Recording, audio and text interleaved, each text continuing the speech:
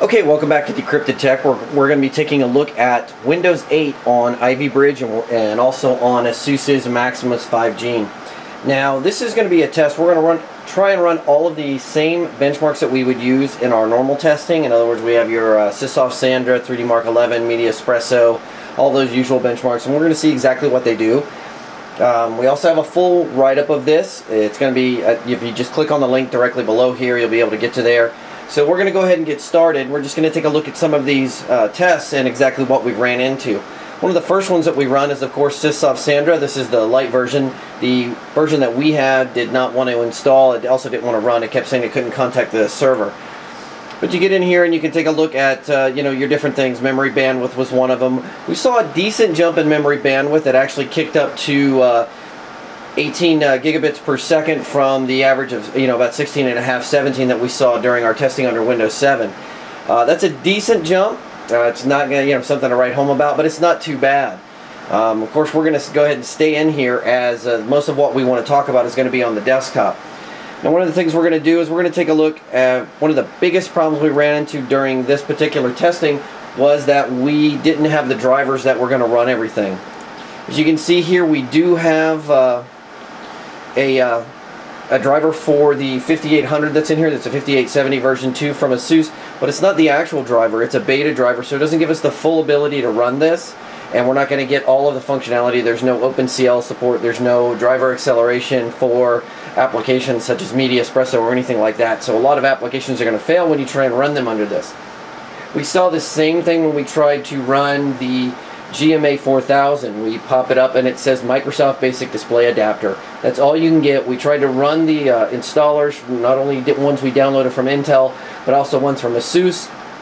These completely failed to install and all they said was the system uh, doesn't support this installation. So doesn't meet the minimum requirements was a big one we got. Also audio inputs. It did install the Realtek driver, but we didn't get the overlay like we saw in the Maximus 5 Gene when we ran the full review. Now going ahead and looking down here, we have, you can see that it's the 3770K. Uh, it's picked that up. Sound, you got the Realtek storage controllers. One of the interesting things is it didn't want to pick up the adapters as storage controllers. We had to get into the, uh, the controllers here. We finally got the Intel controller installed and the ASMedia, but we ran into a few uh, bizarre options. For example, when we took our Kingston HyperX USB drive and we plug it into the ASMedia ports,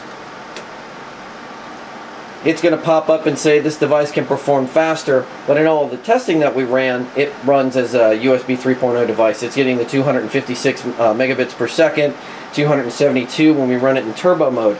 As a matter of fact, we can go ahead and open up uh, USB 3.0 boost, and well now it's not showing the device here, but if we pop it over to Intel, so we get that plugged in pop it over into the Intel port, it's going to pop up and you can see we can run it in either normal or turbo mode. Now even though the USB 3.0 boost wouldn't see it, it was recognizing it as USB 3.0 and when we ran the, the tests we were getting that same speed. Uh, unfortunately we just did not get the same type of uh, you know performance and the same type of recognition for the basic system driver. So that was one of the problems that we ran into there. We also saw, as we mentioned, that there was no uh, GMA installation.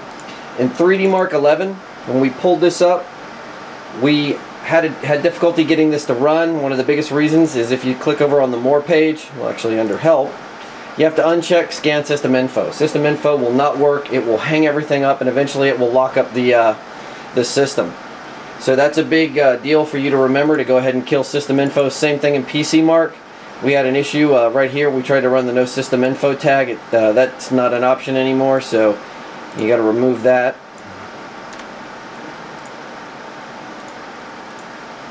And of course when you run it, you want to go ahead and click on help and again remove the scan system info.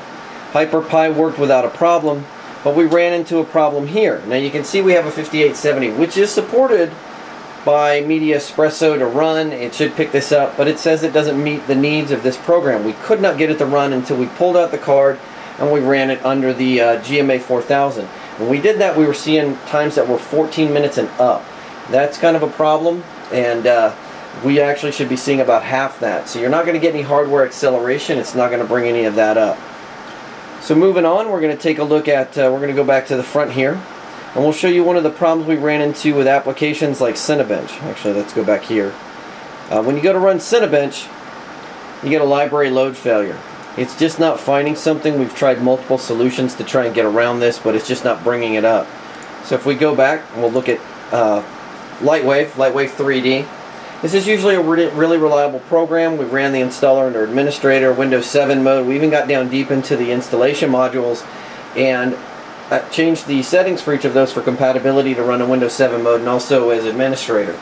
And we just didn't get what we needed for these. Another thing we ran into was with our um, some of our games. We actually had to go in and make sure that the program ran as an administrator or it couldn't write the save game and the in-game files to the user profile. We had this uh, problem with not only Call of Duty, we also had it with Crysis and Far Cry 2. All of them needed to be run as administrator or they didn't run properly. Now we've shown you uh, some video of these as well as Far Cry. Um, all of the games run pretty much the same way with the exception of Far Cry 2. Uh, they all ran a little bit slower than what we expected.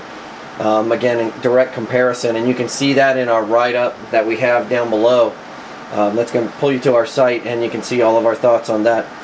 Again, we can't say this enough right now. Uh, we've seen a couple of comments that, oh, wait, you know, wait for Ivy Bridge until Windows 8 is out. Looking at what we've got here, we can see that the drivers are just not there. Windows 8 has a little bit of a different driver model than Windows 7. You can get some drivers to work with this, but those drivers are not going to perform at their best. Um, we were able to plug in a USB device using the ASMedia USB 3.0 drivers, but it's not fully recognizing it as USB 3.0 in the system, and we're seeing issues with that. We're also seeing issues with the ASMedia SATA 3 controller, where we're not getting the same performance, where we should be getting about 450 megabits per second. We're only seeing about 390 even though we're using the same driver that came on the disk that comes with the uh, Maximus 5G.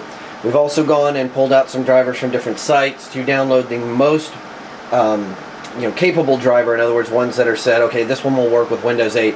So it took us a little bit to just to get the drivers that we have here. And of course the drivers that we're using for our 5870 are ones that we downloaded directly from AMD's website. So again, you can see that we have some of the features enabled, some of them are working, but we also are not getting everything that we should and that's not unexpected at this stage of the game. However, in about two months, Microsoft is going to be releasing a full-blown preview, uh, the second preview of Windows 8 in preparation for the launch later this year. We hope that that preview is a little bit more up to date. Some of the issues that we've run into in the past and in our uh, you know coverage of Windows 8 have been taken care of, and we also hope to see some of the manufacturers some additional manufacturers begin to release Windows 8 drivers that will kind of bring this together. At the stage we're at right now, you know, the system just isn't there. We got a little bit more memory efficiency. The power draw is going to be the same. Uh, the heat levels are going to be the same, and the performance seems to have taken a little bit of a step back on some of this. But again, those are all just immature drivers or drivers that are not fully compliant with Windows 8. So again, as always, if you like this video, go ahead and click on the like button. Be sure to share with your friends and make sure you subscribe to our channel to stay up to date with the news and reviews we have for you.